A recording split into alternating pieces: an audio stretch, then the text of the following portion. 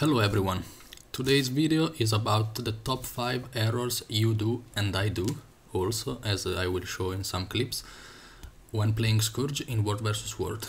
This is about Power Scourge but uh, it also applies for uh, Condi Scourge I guess since uh, it's mostly about the shades and the wells and the Trail of Anguish. Um, I will go from the least relevant error uh, to the most relevant uh, error. So, the first one, the least relevant, in my opinion, is uh, remaining uh, without shades. Like, uh, let's say the enemy is walking around uh, here, here, like they never stop, they are a bit cloudy, and you keep placing your shades, waiting for your bomb. Then the enemy takes position here, and you don't have shades to cast. I don't have a clip about this because I always leave, leave a shade uh, as backup like uh, let's say the enemy will rush on us I will always drop the shade on me then F5 so I hit uh, two targets around me two targets around the shades with every spell I use from F2 from to F5 so I would recommend uh, to avoid this mistake uh, to always keep a shade uh, until the enemy is uh, on you. Like uh, if he's on range always cast maximum two shades and leave one for when the enemies rush on you or when you rush on the enemy. Like you need to understand when the enemy is uh, standing still and ready to get bombed. The best occasion. So always leave a shade. The other mistake a bit more relevant is not placing enough shades. Like uh, there are mm, some uh, situations like in choke points as I will show you in this clip where um, the enemy will rush uh, um, like on the stairs here. Here is uh, I slowed it up with uh, YouTube settings 20 and the enemy will come up for sure because it's a choke point. There's no other way to walk uh, to us. So as you see I'm casting one shade then I cast another.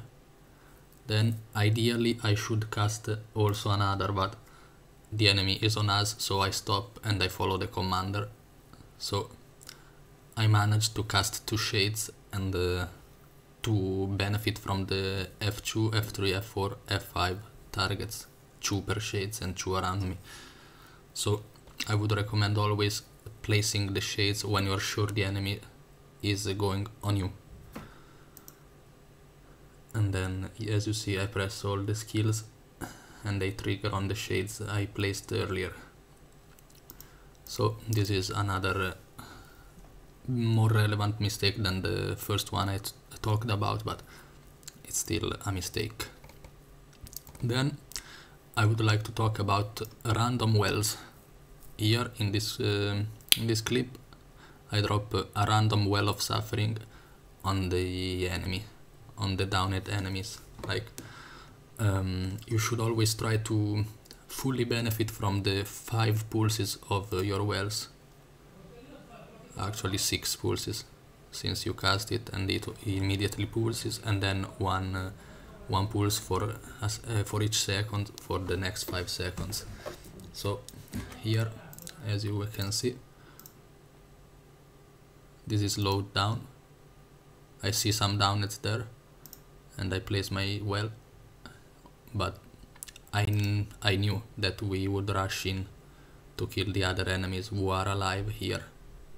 So this uh, they the downed players here would die from any AoEs we dropped or anyway they self bleed when downed. So I kinda wasted my well of suffering. Wait I will show you again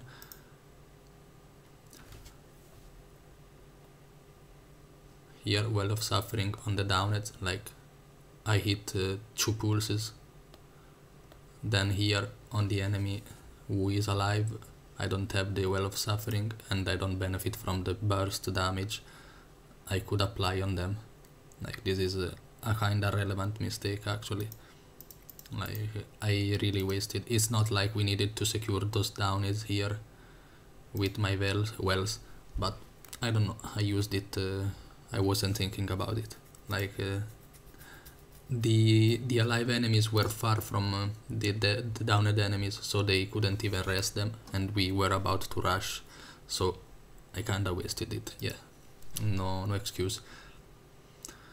The next mistake I want to talk about is not fully benefit from your Trail of Anguish. It's like your one of your best skills is a big damage as you see, like 400, while your F5 is, uh, uh, I made the calculation here, like 228 per pulse on two targets, which is uh, not really a lot, like two targets is uh, actually ridiculous, is really, really bad.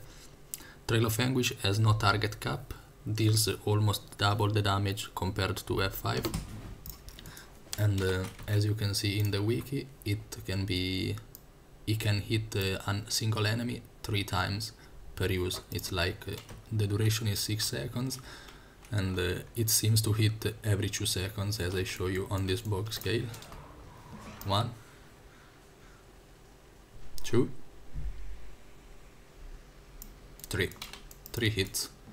So it's 3 corrupt boon 3 times uh, 400 damage so like uh, 1200 damage and it has no target cap like you need to use it before uh, dodging in the enemies or like when the enemy rush on you you need and you kite back you can use this like I can show you here in another clip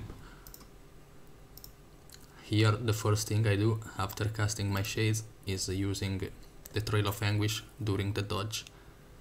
So the enemies walk up to me and they eat uh, everything from the my Trail of Anguish. I, you see I drop this and see the numbers behind me hitting. These are all Trail of Anguish damage. Some here on the on the stairs is um, from the shades, but here it's also all from the Trail of Anguish and also here since I didn't cast anything else yet this uh, is all from Trail of Anguish as you see then I cast my breach on me but these numbers keep pulsing and it's all from Trail of Anguish. It's uh, often your top 3 skill if you use it properly. Then here I cast the wells so I can't say anymore which is from Trail of Anguish or not. But still it's uh, a big uh, a big advantage to use it like this. I know it's a break stun and it can save you but uh, you should always be carried by your firebrand for stability and for uh, stun breaks. Also the Tempest can stun break with uh, Eye of the Storm. So you don't need that stack of stability only to survive. It's uh, the trade-off is too big. You need to cast this for the damage, in my opinion. Then the last mistake, the top one, the most important mistake, and is of course the positioning because uh, staying alive is everything. Like uh, if you do big damage but you die in two seconds is uh, quite useless.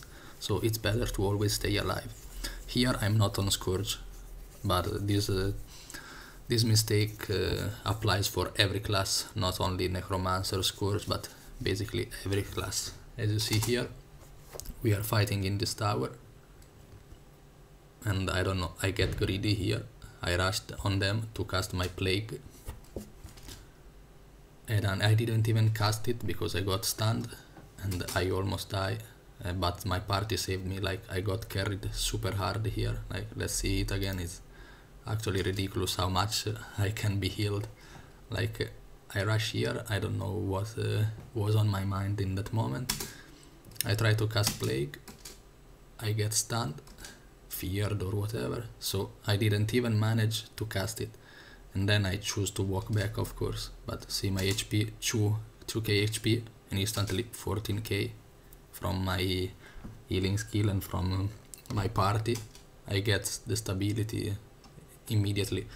Like I got carried super hard but this was uh, unorganized uh, squad of course. But if it was uh, some random tag or some clouding or some walking around around the tag I would die a hundred percent like no excuse I will show you again because this is really important this is super a super big mistake but it's a bit exaggerated maybe but uh, there are minor uh, positioning uh, issues usually. This was a big one just to show you what you must not do. Let's see. Yeah, I don't know. Here it was uh, really a suicide to go there. And I think uh, this is all for the Scourge.